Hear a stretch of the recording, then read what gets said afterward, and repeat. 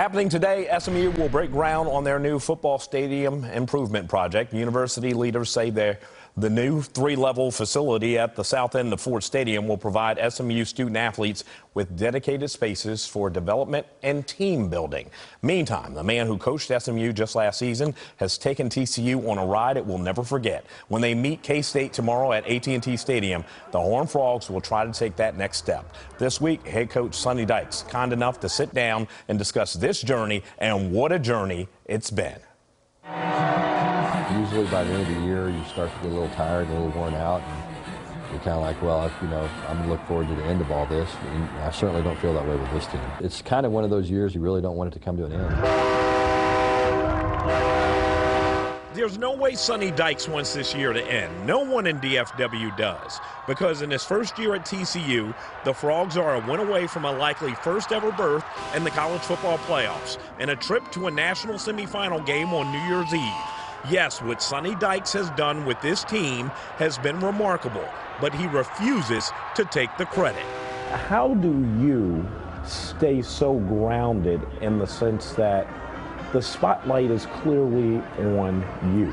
When you win, it's, I've always believed it's because of the players, and when you lose, it's because of the coaches. and I think that's just the way it is. And, and so it's, it's really a, a credit to our players and the way that they have performed and their, again, preparation and confidence and belief in each other. And, you know, these guys play hard and they enjoy it and they play for each other. And, you know, I just try to not to screw it up too bad. that, that's kind of my job. If you spend just a few minutes with Dykes, you'll realize he's not a look at me type of guy.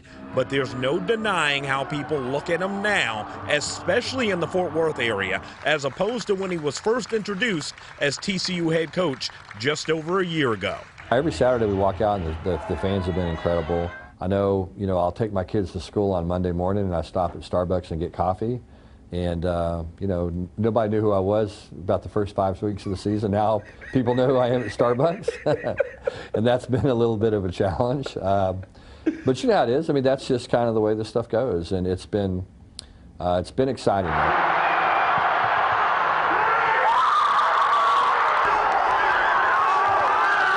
While the nation finds itself in a purple haze with what's going on, Dykes won't allow himself to be because, as he points out, he's done a good coaching job at other institutions. And while it's never amounted to a national title, and maybe this year will, that will never be how he measures himself. Make sure that people leave our program better than they came in. And, and at the end of the day, if our guys can consistently do that, and they can be better men and better fathers and better husbands, um, and better in the community and serve others.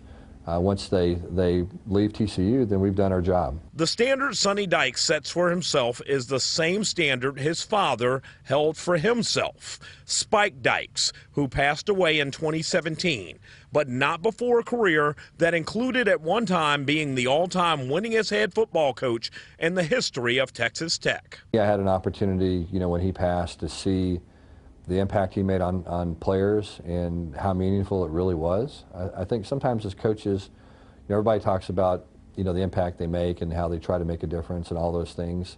Um, but it was really pretty eye-opening to me just how much he meant to those those former players of his. Coach, what was the one piece of advice your father imparted on you in your coaching career, and what do you think his advice would be to you right now?